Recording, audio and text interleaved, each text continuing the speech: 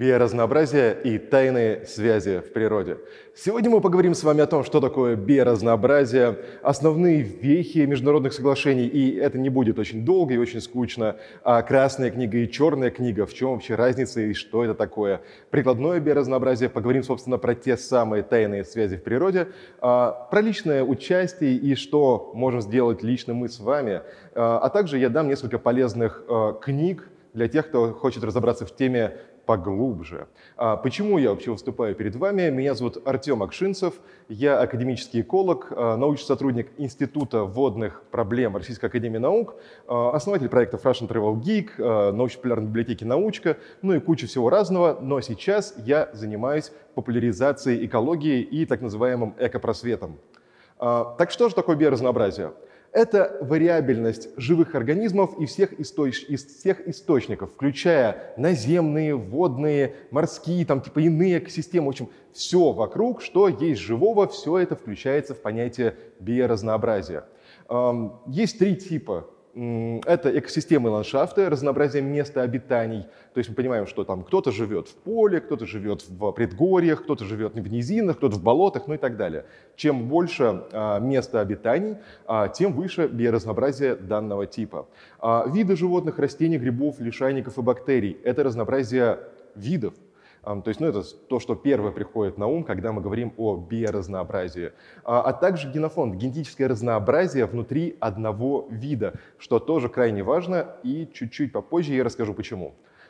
Поддержка биоразнообразия крайне важна. А, это и создание охраняемых территорий, и запрет добычи редких видов, а, борьба с браконьерством, сохранение исчезающих видов в неволе, контроль инвазивных видов. Это все, что происходит прямо сейчас. Но нужно ли это? А, потому что можно сказать, что естественно отбор, ветер северный и типа, да, все само, типа, ну, в природе что-то происходит, человек к этому не имеет отношения, и типа, как вертелось, так пусть и вертится. Но нет. Все дело в том, что мы с вами живем в эпоху антропоцена, когда человечество стало действительно не только геологической силой, но мы влияем на все вокруг. Мы люди, мы такие вроде бы маленькие, но нас очень много, и наши механизмы манипуляции миром действительно поражают. И все дело в том, что есть так называемый эффект бутылочного горлышка. Ну, вы, безусловно, знаете о нем из уроков истории, наверное, истории или географии. Возможно, кому-то повезло, и в школе была экология, да, или биология, хорошо. Объясню на простом примере «Интерстеллар». Скорее всего, вы видели этот фильм, и там, собственно, на Земле, помните, а, остался только один вид ну, которой можно питаться, это кукуруза, а, и кукуруза начинает тоже уничтожаться, и, люди, и людям нечего есть, они там ищут какие-то возможности, прыгают в, в Гаргантюа, там что-то происходит, в общем, какой-то лютый замес, чтобы выбраться из Земли и найти себе запасной план, запасную планету, которая еще не угроблена. И это крайне верно, потому что со снижением биоразнообразия снижается устойчивость всех экосистем, а снижается а, возможность к мира к выживанию. Потому что когда меняется одно или несколько условий, а, происходит эффект бутылочного горлышка. Например, а, появляется какая-нибудь бактерия или какой-нибудь вирус, а, да или просто повышается температура. И если говорим про одну популяцию, то внутри нее огромное количество особей вымирает, не успевая приспособиться. Все дело естественного отбора не в том, что выживает сильнейший, ну, потому что иначе вокруг бы нас было заполнено просто мускулистыми саблезубыми тиграми. А нет, выживает самый а, адаптируемый вид. А чтобы сохранять всю эту адаптацию, возможность к ней, нужен и соответствующий генетический аппарат, который вам позволит адаптироваться к потеплению, к похолоданию, к изменению условий окружающей среды, ну или к ношению масок. А, так вот, чем выше генетическое разнообразие, а, тем выживаемее вид и тем меньше шансов, что после изменения условий окружающей среды, после эффекта бутылочного горлышка, популяция не загнется, ну вот вы видите extinction, да, а, а recovery восстановится. А, именно поэтому так важно биоразнообразие. А, также есть прямая корреляция важности разнообразия и питания. Все дело в том, что ну, фильм «Матрица», помните, там Нео кушал эту пластиковую кашу, а, ну, согласитесь, как-то это не очень хорошо. Конечно, есть там, ну, не очень вкусно, да? Я бы не хотел жить на такой диете. А уверен, вы тоже. Все дело в том, что для человека э, крайне необходимо наличие всевозможных разнообразных источников питания. И, конечно, можно там вспомнить про Сойленд или что-то из этого рода, когда ты такой просто кушаешь питательный коктейль каждый день, вот там, возможно, будет с видом, э, со вкусом ванили или клубники, но так себе жизнь, и поэтому нужно много разных источников питания. И это крайне актуально для всех регионов мира. Также биоразнообразие и научные исследования в области здравоохранения, включая народную медицину. Мы привыкли относиться, но мы вот сейчас, э, научное сообщество, скажем так, когда я сказал народная медицина, такие, типа, что он несет, зачем, какая... Но все дело в том, что по докладу э, ВОЗ, Всемирной организации здравоохранения, 60% населения мира э, используют методы народной медицины. А, это не только вопрос образованности, но и вопрос доступности синтетических лекарственных средств, произведенных высокотехнологичными способами и так далее. И поэтому, да, до сих пор там кто-то лечится корой дуба, ну или там чем-нибудь еще. И таких людей огромное количество. И для них снижение биоразнообразия – это ну, банальное исчезновение источников хоть какой-то медицины. А, да, и научные исследования, конечно же, все, что мы открываем нового, а, когда-то базировалось или сейчас базируется на а, секретах природы. Потому что ни в коем разе, ни в коем разе нельзя говорить о том, что все секреты природы давно открыты, все остальное происходит в лабораториях. Но, друзья, мы с вами понимаем, что жизнь на Земле развивалась 3,8 миллиарда лет. И вот 3,8 миллиарда лет за жалкий кусочек человеческой истории понять ну, крайне маловероятно. И поэтому природа таит в себе еще огромное количество новых э, открытий, видов и секретов, которые только предстоит открыть исследователям э, текущего и будущего. Э, биоразнообразие и инфекционные болезни – также крайне важный э, фактор – Потому что, опять же, помним, интерстеллар, у нас там вирус, который уничтожает кукурузу, и если все вокруг будет покрыто одним видом, высокопродуктивным, или там пятью высокопродуктивными видами, то любая бактерия или вирус, подобравшая ключик к защитной системе э, этих организмов, собственно, уничтожит сразу одну пятую производственных мощностей продуктов питания мира. Это, безусловно, крайне негативно скажется на развитии цивилизации. А, биоразнообразие и изменение климата. Климатические изменения, ну, про них можно говорить очень много, очень долго. Я сейчас не буду затрагивать эту тему, а скажу лишь, лишь то, что в изменении климата самое важное – это скорость а, климатических изменений, которая сейчас действительно беспрецедентна. А, именно поэтому биоразнообразие должно соответствовать, должно успевать приспосабливаться. Иначе, иначе экосистема деградирует, все разрушается, мир становится скучным, унылым и довольно, ну как он, неприятным для жизни, вот, скажем так. А, да, а еще биоразнообразие – это, безусловно, красиво. А, про вехи международных соглашений я должен сказать, чтобы вы понимали, что это не просто там вот я сейчас перед вами выступаю, вы меня слушаете, и все. А, все дело в том, что Сейчас существует конвенция о биологическом разнообразии, которую подписали, а действительно международное соглашение, подписало огромное количество стран, а, но, но кроме нескольких исключений, Андоры, ну вы понимаете, в Андоре сейчас не до биоразнообразия, ну как и 20 лет назад, Брунея, где это, да, а, Ватикана, ну в Ватикане мы знаем по сериалу «Папа», там такие страсти творятся, что, видимо, тоже не до биоразнообразия, и вообще к разнообразию они относятся так себе.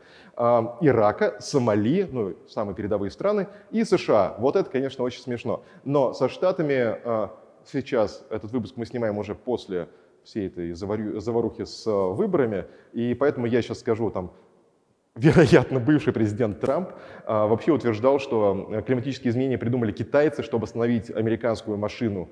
И ну, он характерен весьма странными заявлениями, скажем так, в современном мире.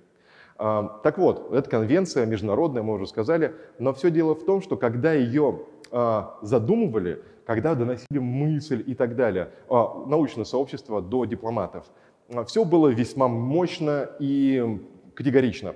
Но в итоге методы стимулирования, например, я сейчас даже зачитаю это вам, вы можете видеть на экране, каждая договаривающая сторона принимает, не, насколько это возможно и целесообразно, оправданные с экономической и социальной точки зрения меры стимулирования, сохранения и устойчивости использования компонентов биологического разнообразия вы понимаете, да, что вот, ну, типа у нас есть а, планы, и вот как воплотилось все это в конвенцию. Но, с другой стороны, уже хорошо, что это вообще произошло, и на самом высоком дипломатическом уровне задумались об этой проблеме.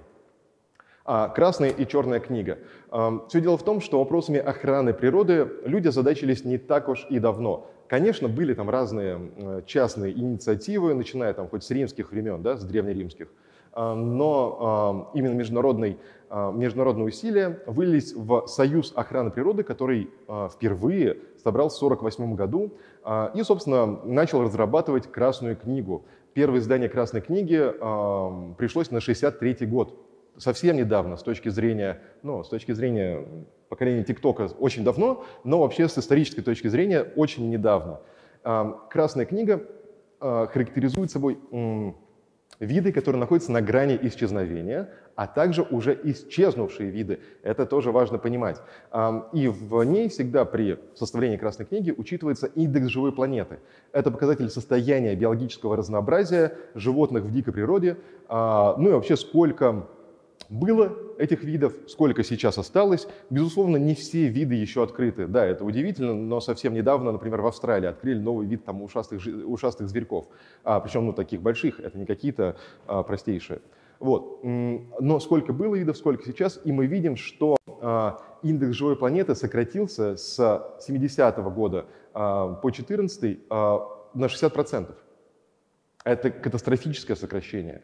И тут все дело даже не в том, что огромное количество браконьеров или любителей народной медицины, которые считают, что там вот добыть краснокнижное животное, вырвать его там часть тела и помазать себе на голову, и ты станешь умнее. Нет. Э, к сожалению или к счастью, нет. В общем, людей очень много. Мы конкурируем с другими обитателями планеты за место обитания. И, безусловно, есть те, кто приспосабливается.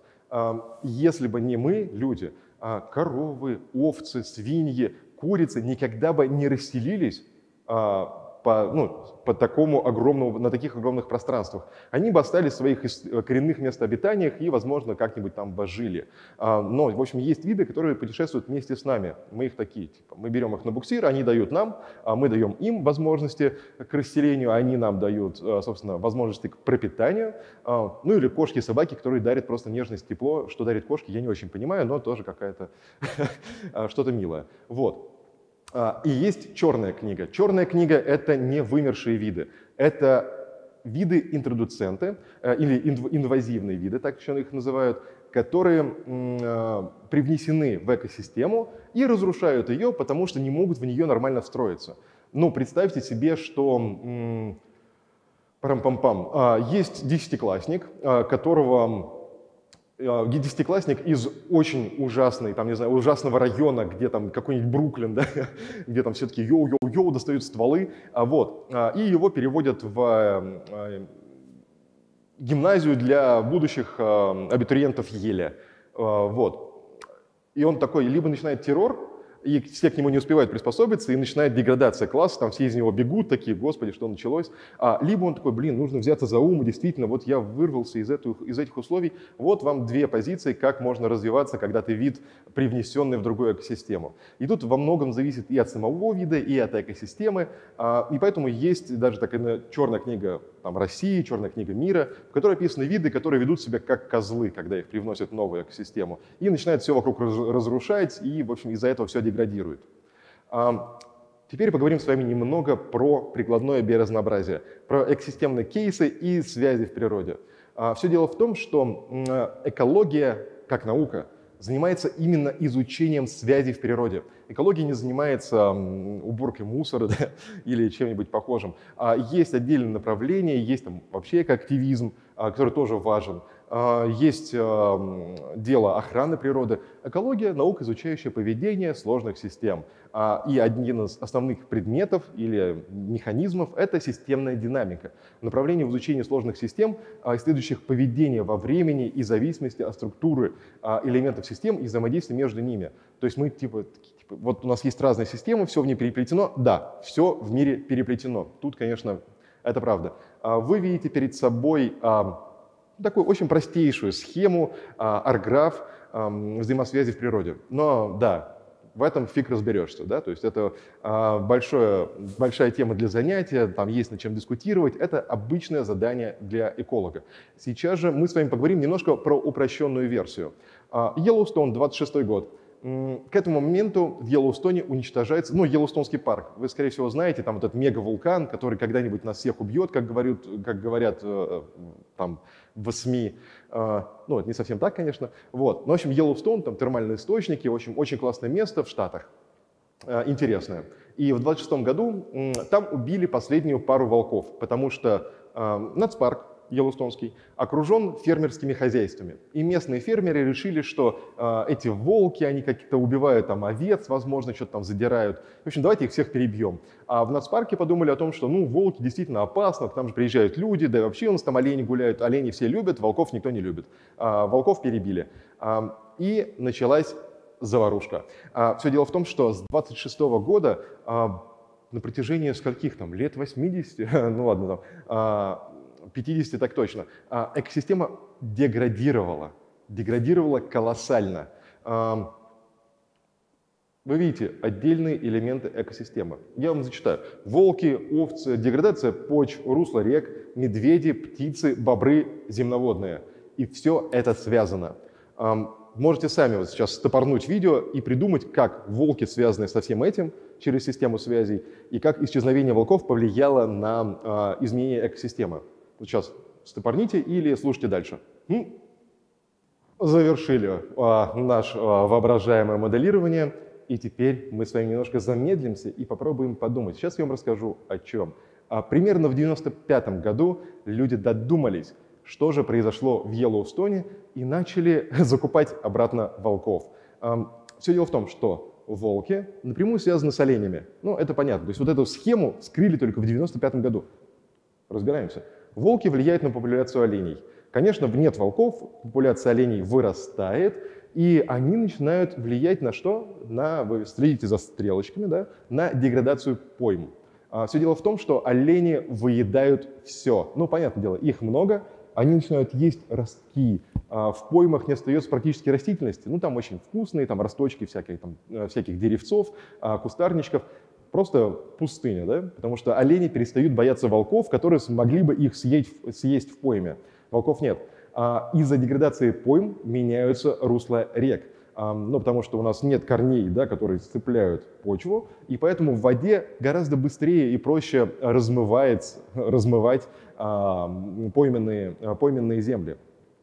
А также на оленей, а, олени опосредованно влияют на бобров. Это тоже смешно, потому что чем больше оленей, тем больше они едят, а чем больше они едят, тем меньше ростков ивы, которые обожают бобры. Бобры до этого жили в Йеллоустоне и строили свои плотины, чтобы добираться вот по этим, помните, вот этим проточкам, да, которые получают, когда строишь плотину, вода поднимается. Они добирались до а, молодых ростков, лакомились ими. А, ростки ивы, например, крайне богаты сахарами, которые нравятся бобрам, а тут им есть нечего, все съели олени. И бобры уходят. Бобры уходят туда, где еще есть волки, где еще а, не так много оленей и где еще ну, как-то оптимально, экономически выгодно строить плотины. Бобров нет, нет запрут, нет вот этих, а, по сути, бобровых плотин, и это еще один фактор, влияющий на деградацию пойм и на а, изменение русел рек. То есть в воде негде останавливаться, тормозиться, скорость потока увеличивается. А, тут такое дело, что птицы земноводные также замешаны в этом всем. Да, мне кажется, кстати, в нашей схеме пропала одна стрелочка. Все дело в том, что деградация пойм влияет на земноводных. Чем быстрее скорость потока, тем а, меньше заводей, в которых а, так приятно плескаться и размножаться земноводным. Если нет размножения земноводных, то огромному количеству птиц нечем питаться. Кроме того, олени выедают все кустарники, в которых раньше плодились птицы, ну, вили свои гнезда там и так далее. И поэтому количество птиц тоже сокращается. В итоге деградирует огромное количество, да деградирует, деградирует вся экосистема. И тут вопрос медведей. К чему есть медведи? Все дело в том, что медведи — это крайне э, опасные всеядные коровы. Медведи, на самом деле, не обязательно есть э, оленя. Да? Когда у нас есть у медведя другая еда, он а, с удовольствием питается теми же самыми ростками, а, зеленью, какой-то корневищами. Но если олени все это выили, то что делать медведю? Медведь начинает забивать оленей. Но есть один момент. Волки охотятся на старых больных особей. То есть, ну как охотятся волки? Им невыгодно нападать один на один на оленя. Олень их может убить. Поэтому волки работают стаей, работают с помощью страха и гонят оленей. Когда там один из оленей отстает, они, собственно, его добивают, а все остальные убегают и такие, фу, наконец-то мы спаслись, а где Патрик? Ну, Патрика съели, ну что поделать, очень плохой лес. Вот. А медведи поступают иначе. Они просто выходят к оленям и забивают самого а, доступного. Самыми доступными среди оленей обычно бывают детеныши. Конечно, олени пытаются противостоять медведю, но все-таки весовые категории совершенно разные, и поэтому они быстро понимают, что легче отдать детеныша, чем сложить голову в бою с медведем. И тут такое дело, а, популяция оленей тоже начинает деградировать, она начинает стареть. Детенышей очень мало, огромное количество великовозрастных оленей, а, внутри оленей популяции начинают развиваться всевозможные заболевания, передаваемые между особями, которые до этого были бы выбиты на ранних стадиях волками, ну, как санитарами леса их еще называют. И поэтому оленям в итоге тоже плохо. И вы понимаете, с 26-го, там, ну, с 30-х годов, с 20-х годов до 90-х годов люди не могли вскрыть эту схему. Мы, мы с нашим разумом охотников, собирателей, трупоедов, да, ну, так вышло эволюционно, а, нам очень сложно строить, строить а, открывать а, столь интересные и притягательные взаимосвязи в природе. Потому что мы привыкли, что вот есть э, опасность, есть вот прямой ее, прямая причина, и вот мы с этим работаем. Но сейчас же у нас есть наука, научный подход. И поэтому мы, безусловно, можем уже понимать, что вот это происходит так, это так. Не всегда просто вскрыть взаимосвязь, но в принципе это возможно. Еще один пример, тот же самый, да, Йеллоустон, кстати говоря. В Йеллоустоне а, местные зоозащитники, которые понимают ну, зоозащиту не совсем так, но уже, уже нормально, но в то время понимали не совсем так. Они решили то, что как-то у нас тут мало рыбы стало, а, в частности лосося Кларка. А, давайте-ка заселим гольца. Голец классная рыбка, в общем, всем будет хорошо. Они заселили гольца, тот самый вид из черной книги, да, если можно говорить, вид нарушающий взаимодействие в экосистеме. И голец начал что? Он начал выедать икру лосося э, и так далее. Он снижал, начал конкурировать с лососем, и при этом голец вводится где? Он на глубине, в мутной воде. Лосось, когда идет на нерест, он всегда в верховьях, ему там нужно отметать икру по-быстрому а, и потом отъехать плавненько. Вот. Но при этом лосось становится пищей медведям, потому что медведь отлично кушает лосося, а тут заселили гольца, и это в то самое время, когда экосистема Йеллоустонского парка деградировала, ее решили поддержать гольцом, да, и у медведя отобрали, по сути, лосося, потому что если никто не нерестится в, в реке, то никто тут не выплывает мальками, ну, которых гольцы тоже, кстати, едят вполне спокойно. Поэтому мальки не уплывают в океан и не возвращаются обратно. То есть, по сути, прерывается трансфер рыбы обратно а, внутрь континента, внутрь материка. А, медведю, и тут облом. В мутной воде он не видит гольца, он не знает, где его там, как его достать. И опять ему приходится есть тех самых оленей, потому что другие источники питания уже съели эти самые олени. В общем, бедные медведи. А, да, еще немножко про медведей. А, лосось, кстати, кроме того, что является питанием для мишек, а, еще и превращается в деревья. Возможно, вы про это знали, слышали, но это одна из еще одних таких взаимосвязей. Вы видите то, что вот мы плавно идем, и в каждом а, элементе, в каждом элементе экосистемы кроется огромное количество взаимосвязей, которые можно рассматривать, открывать, распаковывать как конфету и смотреть, ого, ничего себе. А, лосось а, нагуливает жирок, да, а также нагуливает а, азотные фосфорные компоненты, вот, назовем это компонентами, и возвращается обратно в места, где он не рестился, в верховье рек, на континенты. А там его кушают, но обычно его кушают, ну, медведь, как он ест вообще? Он сначала набивает себе живот, ну, там, просто утоляет первичный голод, а потом начинает есть самые вкусные части лосося. Самая вкусная часть – это а, нос, ну, рыбий нос. Ну, медведи любят это. Они вылавливают, кушают нос и дальше отбрасывают этого лосося в кучу. И поэтому, когда идешь по тайге, даже у нас, на Камчатке, например, ты видишь огромную кучу рыбы, а, и медведь, ну, просто он кушал медведь, наелся этих носов уже, деликатесничал и ушел. Дальше все это растаскивают уже там разные мелкие, там лисы, там кто угодно, там хоть песцы. Могут растаскивать этих, эти тушки, кушать и распространять по а, площадям а, возле водотока, то есть возле речки. Все это вступает во взаимодействие, там, переваривается и выводится, а, а в дальнейшем впитывается деревьями с помощью там, всевозможных э, симбиотических грибов, ну и так далее. То есть там сложная система. Но без этих, без а, азотных и фосфорных а, составляющих, компонентов, деревья не могут расти. И поэтому, по сути, рыба превращается в деревья. И тут важная штука, что деревья, ну, они выросли, помните, там что-то у них опали листья, или просто ветки начали ломаться, как угодно, они разрушаются и отдают а, азот обратно в почву. А из почвы, кстати говоря, он отлично вымывается. И он вымывается еще на стадии неполного усвоения растительностью. Все это вымывается, попадает обратно в реку и уносится в океаны. Ну ладно, азот. Из деревьев получается крайне мало э, его составных. А самое важное, что происходит э, с листовым опадом или хвойным опадом, да, тоже можно сказать, а это кислоты. Кислоты, которые получились после роста дерева. Эти кислоты проникают, в первую очередь это, кстати, касается именно хвойного опада. А, эти кислоты проникают в почву, попадают в океан и питают, питают фитозоопланктон. Именно поэтому а, японцы высаживают вдоль берегов рек сосны и хвойные деревья, а, которые позволяют подпитывать планктон, а чем больше фитозоопланктона в море, тем продуктивнее растет лосось, он все это кушает и обратно транспортирует на материк. Такой круговорот азота. А, это, конечно, упрощение, как я вам сейчас рассказал, но, но а, главную мысль вы уловили. А, еще немного лосося, но уже без медведей. Все дело в том, что Рейн, Рейн, ну, речка такая в Германии, ну, скорее всего, знаете, одно время являлась самой грязной рекой Европы. А сейчас же туда заходит лосось. И, безусловно, в Европе огромное количество усилий направлено на озеленение и восстановление лесов этих э, площадей. То есть ну, в Европе вообще натуральных лесов естественных осталось там 3% что ли. Все остальное это уже восстановленные леса. Ну хорошо, лосось заходит в Рейн, там уже убрали все производства, лосось опять интересно заходить. Э, там, но как достать лосося? Ты же не будешь ну, посередине Европы, там медведи, чтобы они ели этого лосося, вылавливали. А, есть бакланы бакланы кушают лосося, и потом с пометом, а, все, ну, с их пометом все это попадает на кроны деревьев и как-то там а, усваивается, смывается дождями и потом усваивается наверх.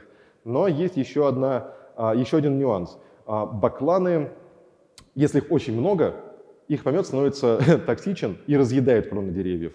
То есть тут тоже важно не переборщить. Очень тонкие механизмы, и единожды их сломав, наладить обратно крайне тяжело и очень э, ресурсоемко. А, то же самое касается а, азотистых удобрений. Ну, все мы знаем, что азот вроде бы удобрения, а их огромное количество.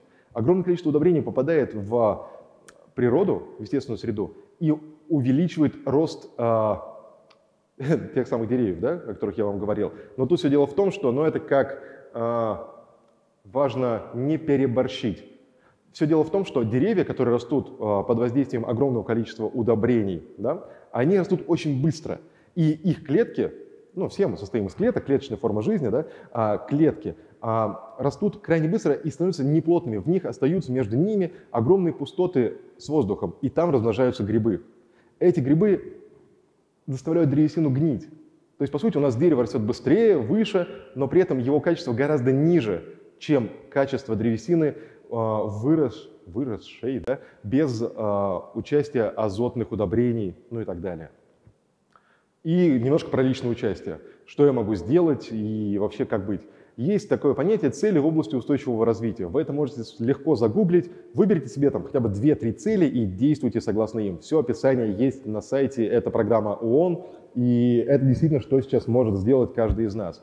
А, также есть всевозможные фонды, которые помогают а, решать те или иные проблемы. Можно делегировать свои, а, действовать за вас этим фондом. А, ну и, конечно, полезные книги, потому что самое главное — это понимать, что вообще происходит. И если вы хотите разобраться в проблеме, о которой я сегодня рассказал, в вопросе, о котором я сегодня рассказал подробнее, то вот вам три книги, которые в этом сильно помогут. Это научпоп, ничего сложного, а, но очень интересно. Всем советую. Спасибо за внимание.